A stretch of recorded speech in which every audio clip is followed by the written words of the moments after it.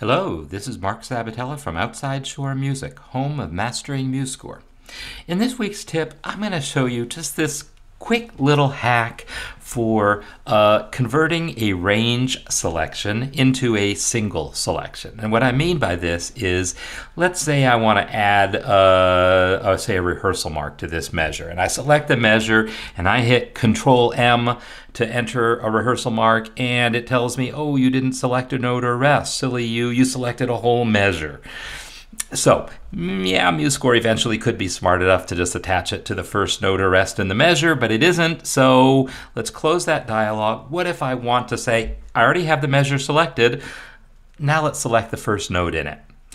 Uh, there's probably multiple ways of doing this, but here's what I do. I press N once for note input mode, press N again to come out of note input mode. That leaves me with the first note of that measure selected, and now I can type Control M and enter my rehearsal letter or whatever other text or marking that I'm trying to do. So that's my uh, my simple little tip here. If you've got a range selection and you knew you meant to select the first note within it, press N, press N again, and now you've got the first note or rest selected.